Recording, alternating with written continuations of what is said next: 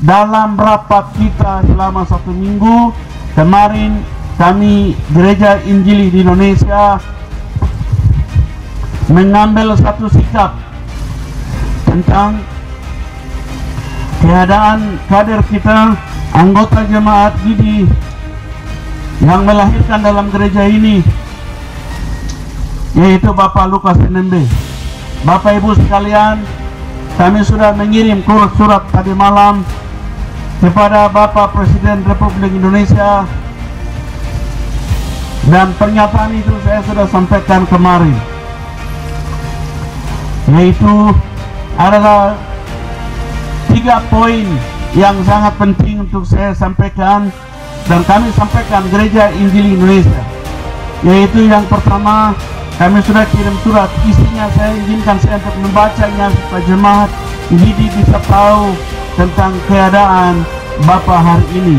Keadaan Bapak kita Bapak Gubernur Papua dan Bapak Lukas Nente anak Gidi yang melahirkan oleh gereja Gidi anak sulung yang dilahirkan oleh gereja Gidi yang juga pemimpin peradaban di tanah Papua yang sesungguhnya adalah dia tidak ada salahnya dia tidak tahu persoalan yang juga tetapi sementara digiring dengan hukum dalam keadaan dia sakit. Karena itu dalam gereja Injil Indonesia Badan Pekerja Pusat dengan hal pernyataan sikap yaitu kepada yang terhormat Bapak Presiden Republik Indonesia dalam kasih Kristus dengan hormat sehubungan dengan situasi terakhir yang dialami oleh Bapak Lukas NMB SIPMH selaku Gubernur Papua.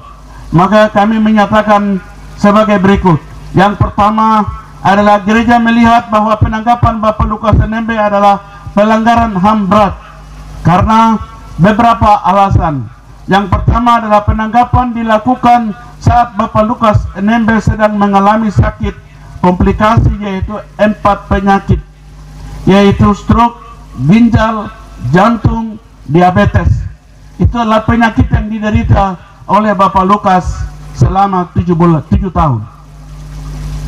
Kemudian ditangani oleh rumah sakit Singapura. Kenapa kami katakan pelanggaran HAM berat? Karena KPK Republik Indonesia sudah berjanji pada tanggal 3 November 2022 ketika mengunjungi Bapak Lukas NMB di Papua dan bahwa tidak akan memeriksa beliau saat beliau sakit dan datang memberikan jaminan kepada kita bahwa beliau sehat dulu lalu bisa lakukan proses hukum maka pihak gereja mengizinkan KPK Republik Indonesia mengunjungi Bapak Lukas NMB di kediaman yaitu di Koya.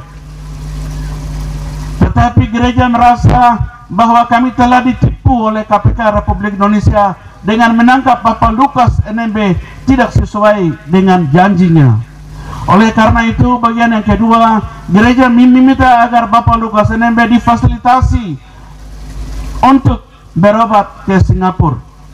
Jika tidak dapat memfasilitasi pengobatan di Singapura maka kami dari gereja meminta supaya Bapak Lukas NMB dipulangkan ke Papua karena kami tidak ingin terjadi apa-apa di tangan KPK Republik Indonesia dan di Rumah Sakit Gatot Subroto.